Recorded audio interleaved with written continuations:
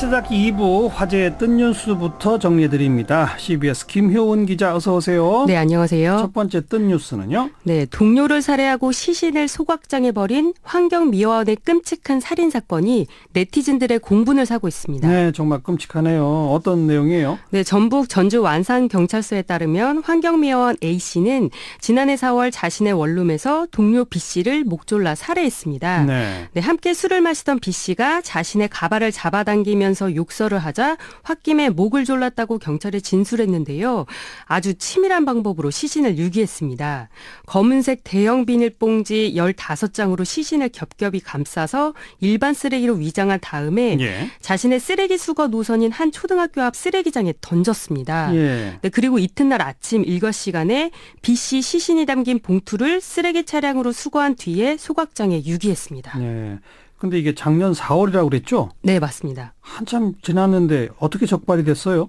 네, B 씨 가족이 아버지인 B 씨에 대해서 가출 신고를 했습니다. 처음에는 경찰이 단순 실종 사건으로 판단했다가 인천 지역 술집에서 B 씨가 카드를 긁은 내역이 발견되면서 강력 사건으로 전환이 됐고요. 예. 어, A 씨는 B 씨를 살해한 뒤에 6천만 원어치의 카드를 긁었다고 합니다. 어허. 네, 그리고 살해 사실을 숨기려고 B 씨 이름으로 병원에서 허위 진단서를 받아서 구청에 B 씨의 휴직기를 냈고요. 예. 또 B 씨 딸들에게는 생활비와 등록금을 꼬박꼬박 보냈고 B 씨 휴대폰으로 가족들에게 안부 문자까지 보내기도 했습니다. 참 치밀했군요. 네, 그래서 가족들은 아버지가 살해된 것도 모른 채 1년을 살아왔다고 하고요. 예.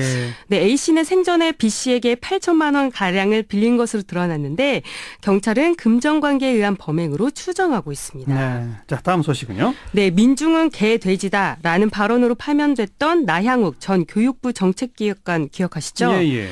네, 파면은 부당하다는 법원 확정 판결이 나오면서 나전 기획관이 교육부에 복직하게 됐는데 비난 여론이 들끓고 있습니다. 이게 나전 기획관이 파면 취소 소송 낸 거를 해서 승소한 그거죠? 네, 그렇습니다. 예. 1심과 2심 모두 나전 기획관의 비위 사실은 인정하지만 파면은 과하다라고 판단을 했습니다. 어, 당초 교육부는 대법원에 상고할 계획이었는데 법무부 상소심의위원회에서 1, 2심 판결을 뒤집기 어렵다는 이유로 불허 방침을 내려서 상고를 포기했습니다. 예. 네, 복직까지는 약 2, 3주가량 소요되는데 나전기획관은 일단 대기발령 상태로 돌아오게 되고요. 어, 교육부는 나전기획관이 복직하면 다시 징계위원회를 열어서 중징계를 요구할 계획이라고 합니다. 그러니까 파면은 과하다는 판결이 있었으니까 파면 말고 다른 징계를 내리겠다는 거죠? 네, 그렇습니다. 중징계인 파면 말고도 강등이나 정직 등이 포함돼 있습니다.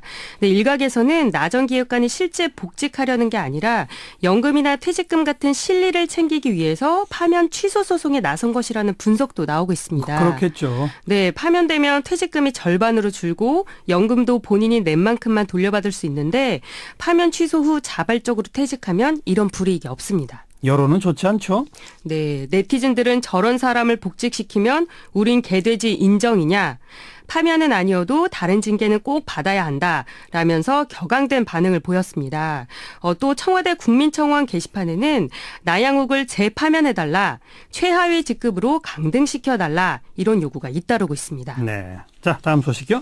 네, 국방부 청사에 있는 간부 식당이 송영무 장관의 지시로 폐쇄돼 네티즌들 사이에서 화제가 되고 있습니다. 왜 폐쇄가 됐어요? 네, 대장부터 이등병까지 같은 음식을 먹어야 한다.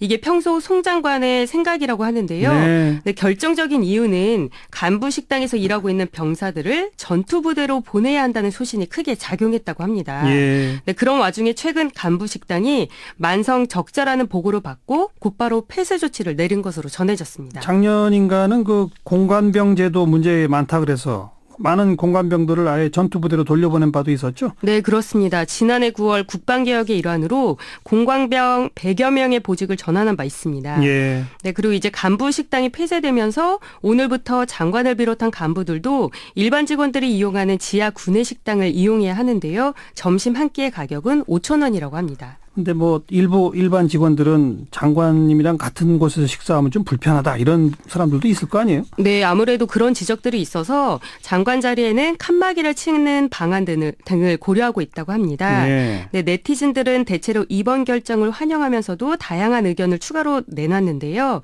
제대한 지 오래됐다는 한 네티즌은 간부 식당 밥 때깔이 달라서 취사병들에게 물어보니 압력밥솥에 밥하고 반찬, 국 모든 게 다르다고 했던 기억이 난 다. 예. 참 속상했던 기억이 있다라고 적었고요. 또 다른 네티즌은 이참에 일반 부대에서도 간부 식당과 사병 식당 구분 없애고 합쳐라라고 요구했습니다. 뭐 국방부가 이렇게 하니까 일반 부대도 따라갈 가능성이 크겠네요. 네, 수고하셨어요. 네 감사합니다. 김효은 기자였습니다.